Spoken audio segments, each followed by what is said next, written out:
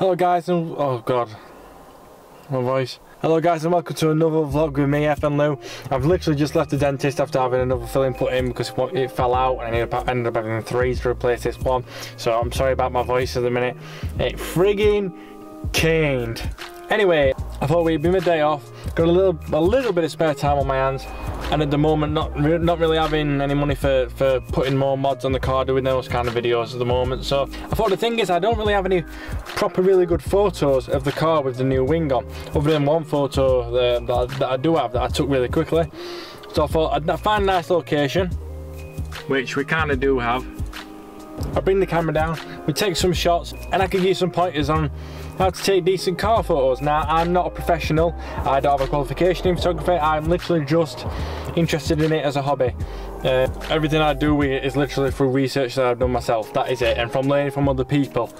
So, whilst I get some photos, let's try and go through some top tips on how to get a good car photo. It is quite loud because there's traffic going past, but I will try to explain what I'm going to do.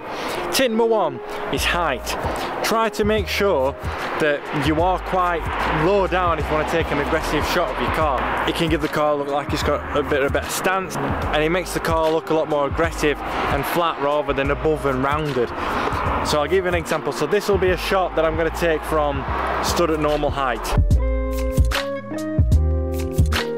This will be the same shot with the same, well I have it, I'm going to have it on auto for this so the camera will be sorting itself out. The same shot with the same amount of focus at the same distance from the car but just at a lower angle. So this is what the difference will be. The second thing that I recommend is using zoom on your lens.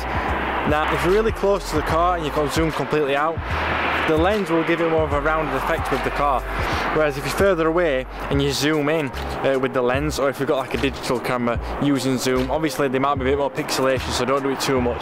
But it flattens the image more, it brings the background closer to the car, and it just, it's, it's all to do with that stance and aggression and it makes the car look a lot more edgy rather than bubbly I think. So I'll show you an example, this is one where I will take it close up and zoomed out. This will be one stood a few meters away from there, uh, but zoomed in.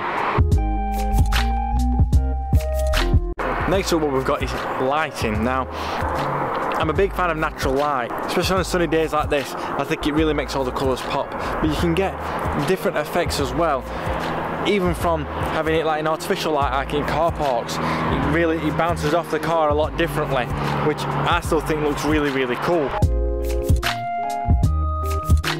as well talking about lighting, look taking the pictures from different angles, like having the light in front bouncing off the car like on the photos you've just seen, or having the light behind the image so that it creates a bit of a shadow and a bit of a glare. If you've done it correctly, it can look really good, but it can look quite, it can make the image look really dark. So it's one of those things where it's a bit risky, but if you could pull it off, it looks quite good. I'm just going to take a photo now of the car from a different angle using the light in a different way and you see what I mean by it gives it more of a shadow, a bit of a glared look but some people prefer that.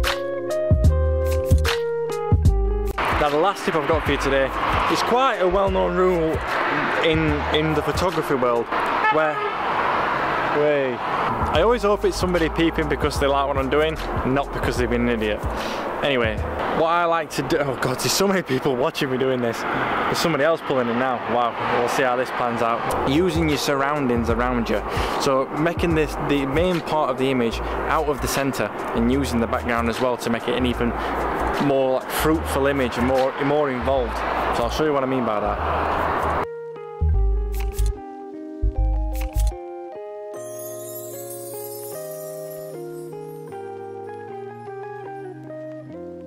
Okay guys, I hope you enjoyed this quick little video. There's a lot more that can go into photography and how you take your photos to do with like the lighting, uh, the settings on your camera, all sorts. Editing afterwards. But I just thought I'd just give you a few little tips that I try to think of when when I'm taking photos myself. So if you enjoyed this video or you did think it was useful anyway please like and subscribe to the channel and click that little bell button as well so that when I do upload a new video wow timing then you can it can update you every time uh, one gets uploaded, a policeman just went past and I was so scared to look at him. anyway, they've not pulled over, so. I mean, what am I doing wrong here? I'm not doing nothing wrong here. I'm just a guy with a car with a obnoxiously big wing on the back. I'm not doing anything. Anyway, guys, thanks for joining me. And like I always say, enjoy the rest of your day. Bye. Shut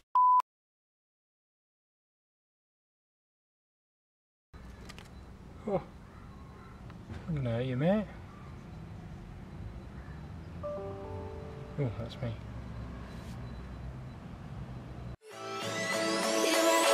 You